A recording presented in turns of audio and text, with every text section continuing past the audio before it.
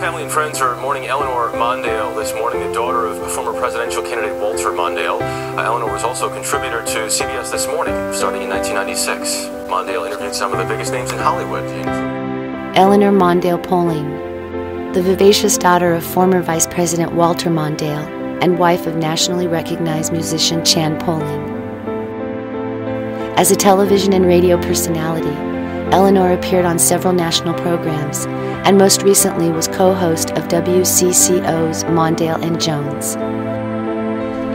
Oh, those are great. That's a nice picture. Oh, I remember. Yeah, there's some Bill. work ones and The fair in 2006, September or August is when we started working together. And we were thrown into the fire immediately. Here we are at the fair.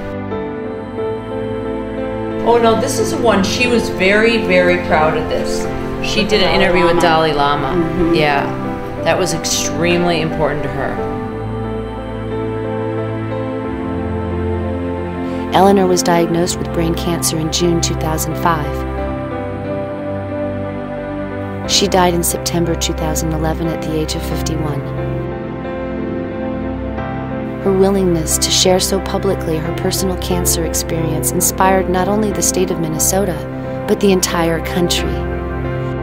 Random people would come and say, you know, I'm praying for you, I'm wishing for you, and that sense of humanity. her radio, her TV, her family history. She touched a lot of people, and she really, uh, for, for many people suffering with cancer, and especially with brain cancer, she became an icon for people that wanted to understood that this is a disease that, even if it's fatal, it's a disease that you live through. You don't die through it. She was able to get the message out that you can do this gracefully, you can get help, and you can find peace even in a desperate situation.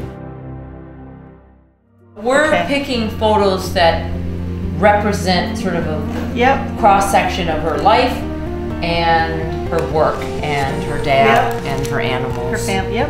Yeah. Today, she's remembered at Angel Foundation with a room dedication in our offices, where friends and coworkers have made her indelible spirit a fixture in the Angel Foundation home. That is great, E. Happiness, family. All right, Okay, so, so what, what- you're, want we're to seeing do- them like here, right? I Center. so. Eventually, that's where I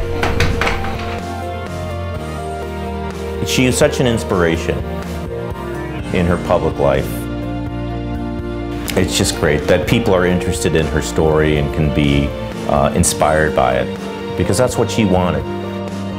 All the time, she just wanted people to make things better for those who were falling on tough times. She just wanted to help people. I think even the most well supported people who are going through something like this are going to have times when they feel alone. And that's when uh, foundations like uh, the Angel Foundation are kind of like a beacon to say, society sees you and we're here to help you.